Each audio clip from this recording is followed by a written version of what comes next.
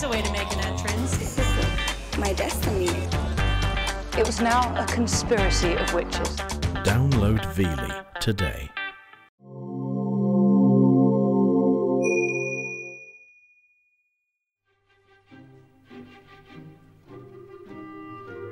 Fourscore and seven years ago, our fathers brought forth on this continent a new nation, conceived in liberty, and dedicated to the proposition that all men are created equal.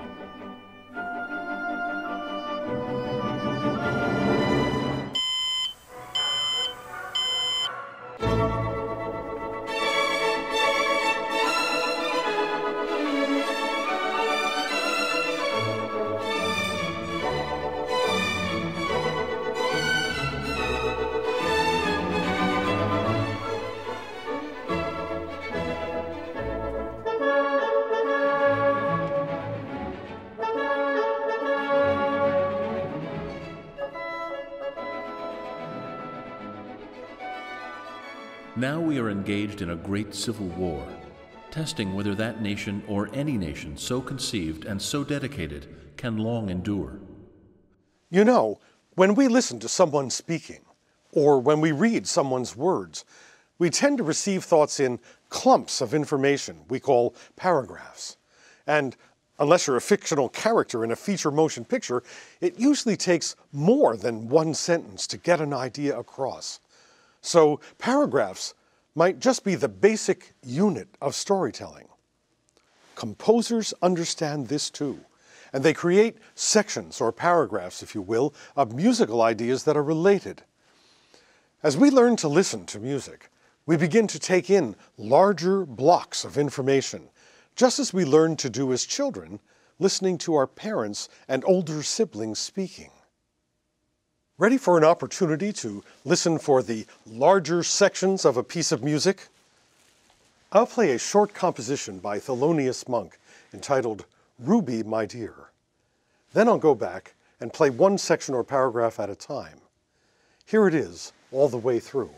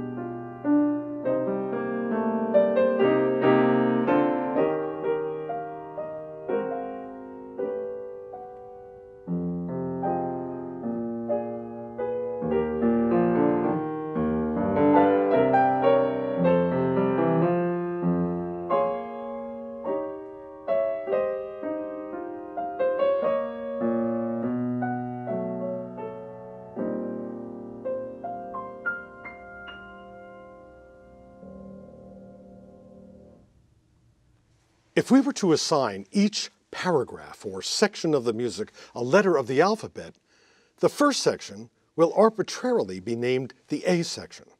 Remember, if anything repeats, it receives the same letter designation. So for instance, if the first section occurred one time and then the composer went to something new, something different, we'd have A, B so far. If the second section repeated, we'd now have A, B, B so far. If the first section then returned, we'd have A, B, B, A as the description of the sections or paragraphs. You get it, I'm sure. Ruby, my dear, has just four paragraphs in the rendition I'm playing. Pausing at the end of each section, I'll let you know when each section ends and the next one begins. Your job? Assign a letter of the alphabet for each section. Does everybody understand the assignment?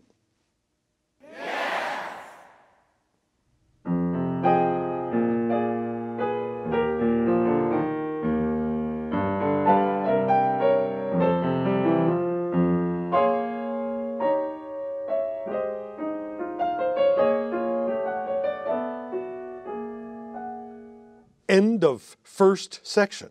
Here's the second.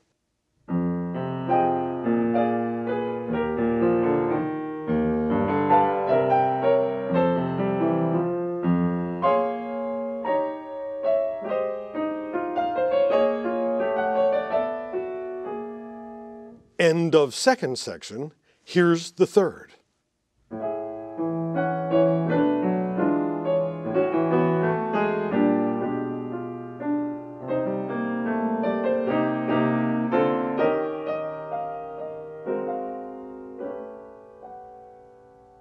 End of third section. Here's the fourth section or paragraph.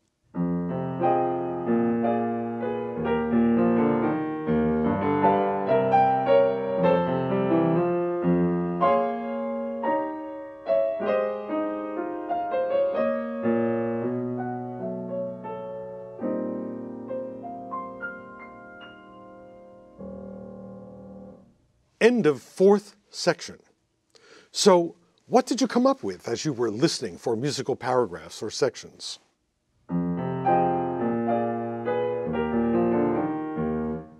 This was the first. A. Whew. Well, we already knew that. Let's see what came next.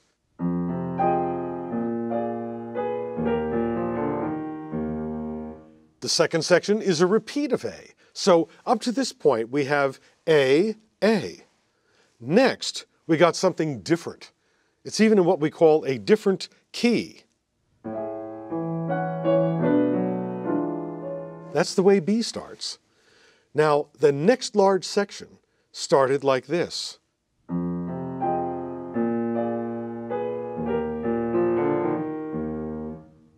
And so, the large sections or paragraphs are A, A, B, A.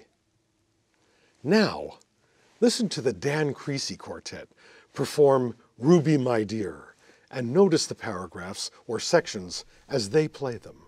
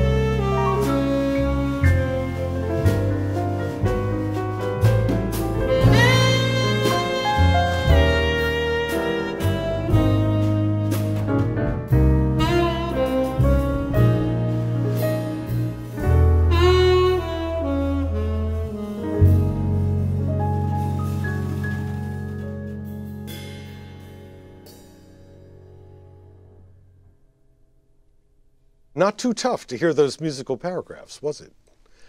Here's another one for you. This is a movement from a group of piano pieces by Robert Schumann called Kinderszenen, or Scenes from Childhood.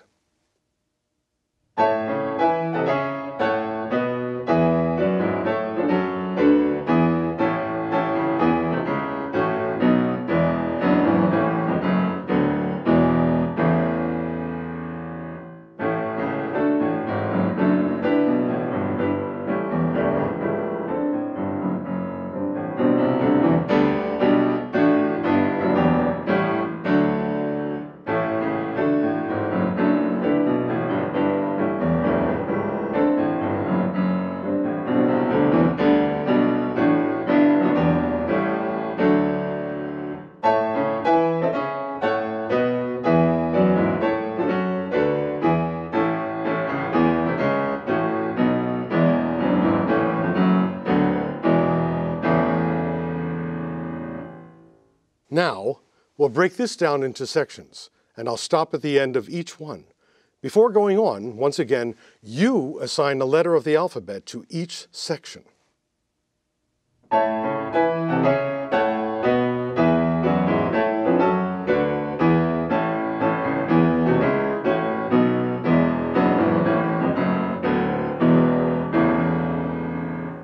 End of first section.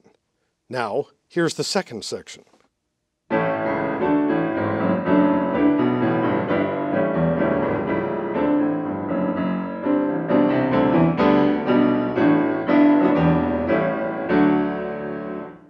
End of second section. Here's the third section.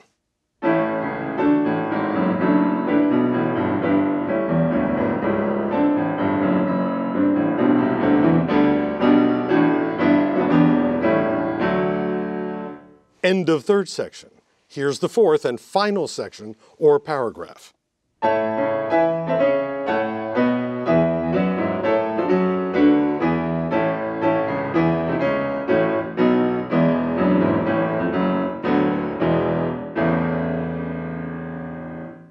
End of fourth section. How did we do on this one? A, the first section, started like this. And the second section, B, started like this. And the third section started like this. So far, we have A, B, B. And the fourth section started like this. So we have a return to A, making the list of sections A, B, B, A. Another aspect of the music I just played for you is the fact that we call it program music. Program music as opposed to what? Program music as opposed to abstract music, musical compositions that have a topic or special scene or idea they are attempting to portray. And I bet you know some of the most famous examples of program music. Vivaldi's The Four Seasons, Beethoven's Pastoral Symphony. Even the titles tell us that the composer wants to paint a picture or tell a story. And it's not just instrumental works. Every piece of music that has words is program music. The words tell us what the program is. So all songs, longer works of choral music such as Handel's Messiah, all operas, all ballet scores, they all have stories and are therefore programs. As opposed to all those wordless, abstract musical compositions with names like Symphony Number no. 1, Piano Sonata Number no. 14, String Quartet Number 22. All of these compositions convey feeling and thought, for sure, but there's no story or program connected with the music. And most of the composers we know and love have written both program and abstract music. So, going back to Robert Schumann's Kinderszenen, meaning, as I said, scenes from childhood, think about this. Here we have a 28 year old man remembering how he felt in various circumstances when he was just a little boy and translating each of those feeling states into individual pieces of wordless music with titles such as Happy Enough, A Child Falls Asleep, Daydreaming, and A Night on His Hobby Horse. So here's an interesting little test. I'm going to play the movement with its sections A, B, B, A again. What feeling or scene does this music suggest to you? Thank you.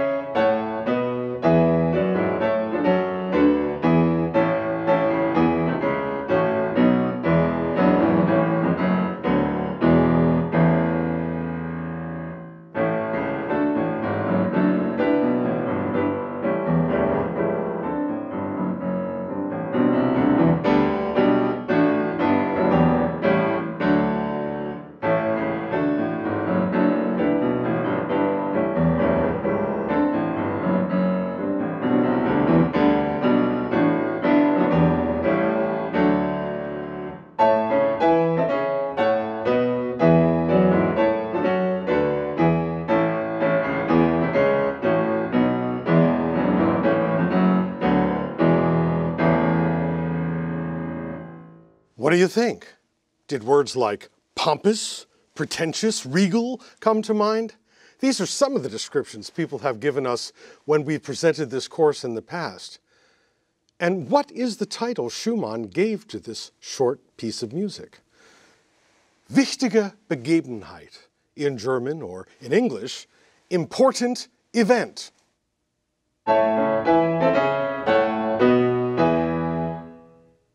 We don't know in any way just what important event Schumann had in mind, but maybe it was the day when he was eight years old that Prince von Fürstenschnorzen came to town with his magnificent horse drawn carriage and his footmen and other servants and all of his fancy clothing. But whatever it was, we can agree that he succeeded in transmitting the feeling that he was witnessing an important event. Program music. When I was demonstrating contrapuntal texture, I played this composition that contains three separate independent melodies.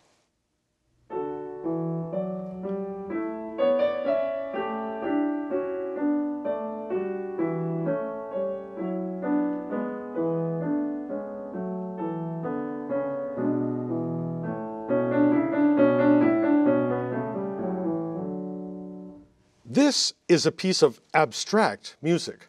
When Bach wrote it, he gave it a generic title, Prelude in D major, just one of a group of compositions he called 12 Little Preludes for Beginners. These 12 preludes were probably written as exercises for his harpsichord students so they would become proficient in playing contrapuntal texture. It definitely projects a mood, it's in a major key, and it's in a moderately moving tempo.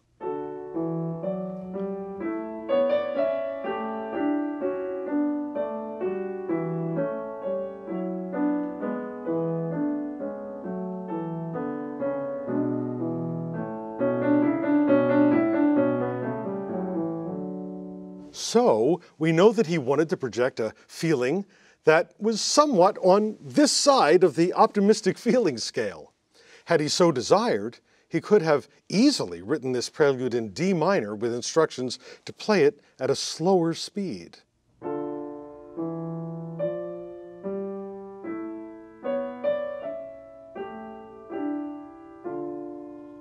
Projecting a completely different mood and feeling.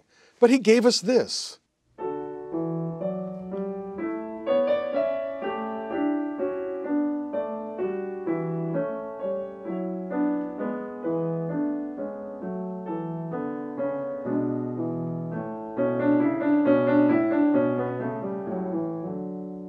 There's no story.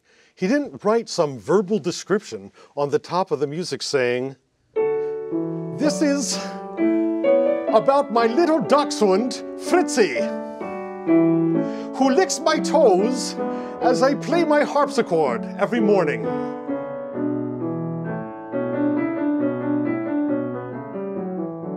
No, he didn't write any such thing. And this highlights one of the truly amazing things about abstract music. Composers can transmit so much feeling in a piece of music with no words. For many people on the planet, the only kind of music there is, is song. I mean, if a piece of music has no words, how could it be any good? there can definitely be value to music that has no words because there's um, a lot of the message that comes through in the music itself. For the most part, I do listen to music um, with lyrics. Is it any good if it doesn't have words? Of course, it, it touches your soul when it doesn't have words. When I listen to music with words, I'm paying more attention to the words and to the lyrics. But when I listen to music without words, I get more involved in the music. Music is very worthwhile without words. I tend to lean more towards songs about something that I can understand through the lyrics. I love jazz and I love classical music. And when I'm really listening to it, you know, I, I want to hear the music and the instrumentation and the harmonies and the melodies more than the words. I prefer music with words because I prefer to sing along, even though I'm not a great singer. I feel like there's a lot of value with music that doesn't have words. Now, here's an opportunity to prove how open minded you can be as you listen. This next composition contains a melody you know, but it's been hidden or disguised in the music by the composer. Your mission? Identify the familiar melody hidden in this music.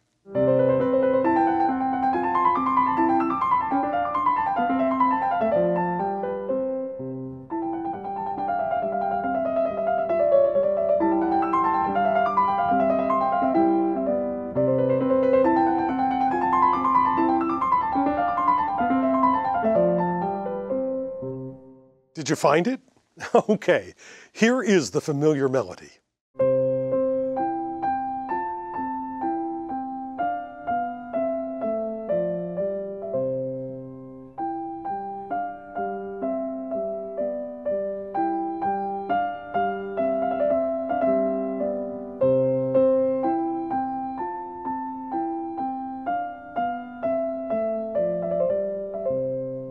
Aha!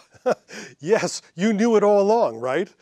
Now we'll play the theme and Mozart's first variation of the 12 variations he wrote on A vous dirai-je maman. I recite for you, Mama, my ABCs, or as we know it, Twinkle, Twinkle, Little Star.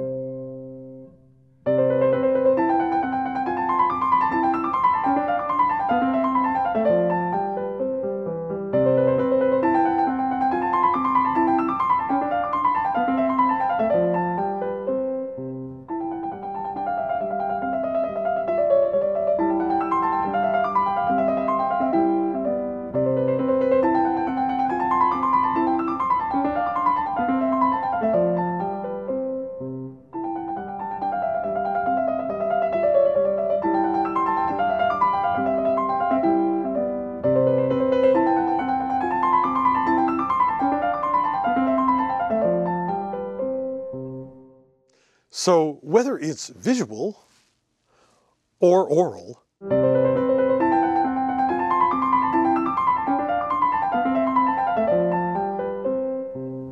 or virtually any other aspect of the human experience, our ability to perceive, in other words, our degree of openness and flexibility, will bring us some of life's greatest pleasures. So be willing to listen to a piece of music many times. As open and flexible listeners, we'll get more and more out of our listening experiences.